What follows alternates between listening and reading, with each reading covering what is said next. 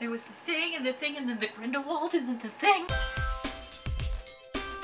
Hi everyone, I'm Brittany K and this is Awkward Gravity X. Stop right there. If you have not yet seen the newest and final trailer for Fantastic Beasts and Where to Find Them, you need to stop this video right now and go watch it. It was released two days ago and it is amazing. I'm freaking out. I want to see it so bad. Oh my gosh. There was the thing and the thing and then the Grindelwald and then the thing and then the thing. Oh Oh, it looks so good. I literally cannot wait. It is cosplay season here on Awkward Gravity X.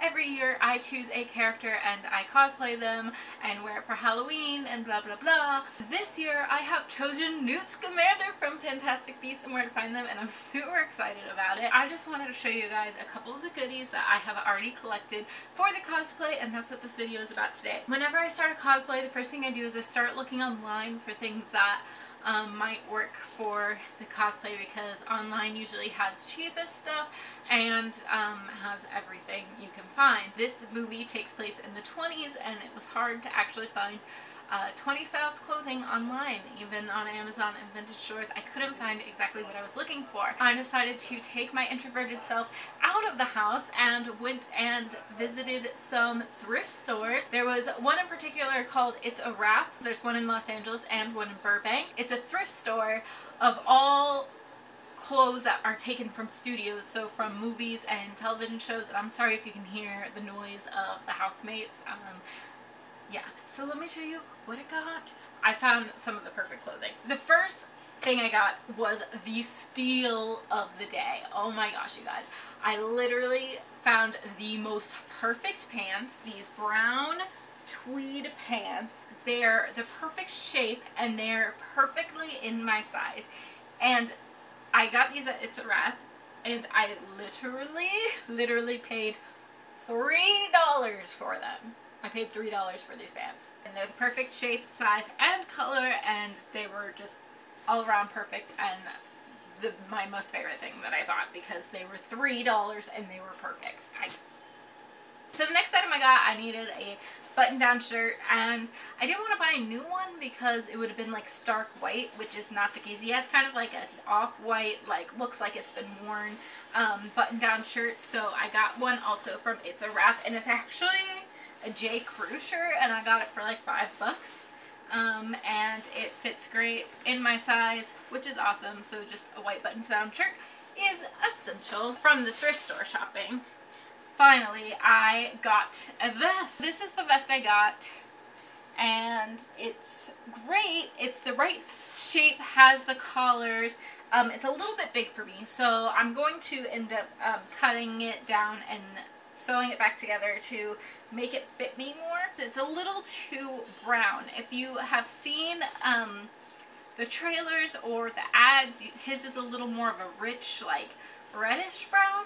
So um, I thought this one was a little too plain. So I have actually ordered some fabric dye that's going to be like a rich gold. But other than that, I think that the cut of it is perfect because, yeah.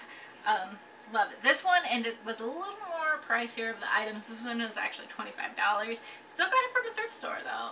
I have to tell you guys about this because it's amazing. On Magnolia Boulevard, and that whole street in Burbank on Magnolia Boulevard is all thrift stores and vintage shops.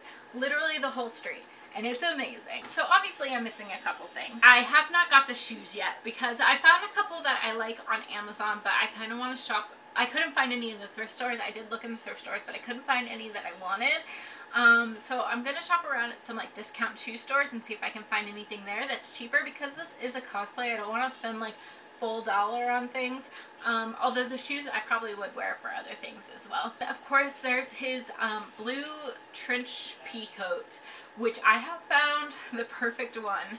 And it's like the perfect color because a lot of them when you look for them they come like really dark navy blue and his is like this almost like turquoise like vibrant blue.